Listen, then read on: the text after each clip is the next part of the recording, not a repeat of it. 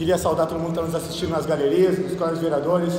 A gente tem discutido bastante sobre questão de privatização e concessão de parques e tem muita confusão em torno do tema. Então eu resolvi fazer uma manifestação um pouco diferente hoje. Eu gostaria até da atenção das senhoras e dos senhores para o tema, que eu acho que vai ser muito importante e esclarecedor.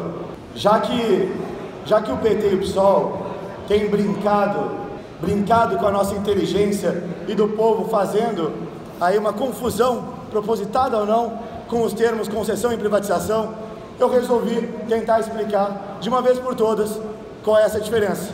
E eu resolvi adotar um método talvez um pouco inusitado, mas que eu acho que pode ser mais didático. Esse aqui é o Esquerdildo e esse aqui é o Sr. Luva. Apresento a vocês. Esquerdildo pergunta, mas Sr. Luva, eles vão vender os parques?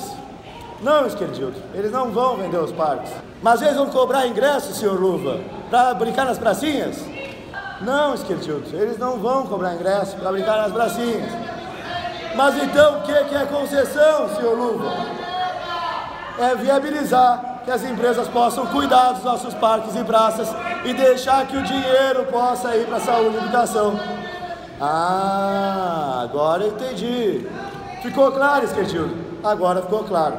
Obrigado, pessoal. Espero que agora tenha esclarecido o que é concessão e privatização. Muito obrigado.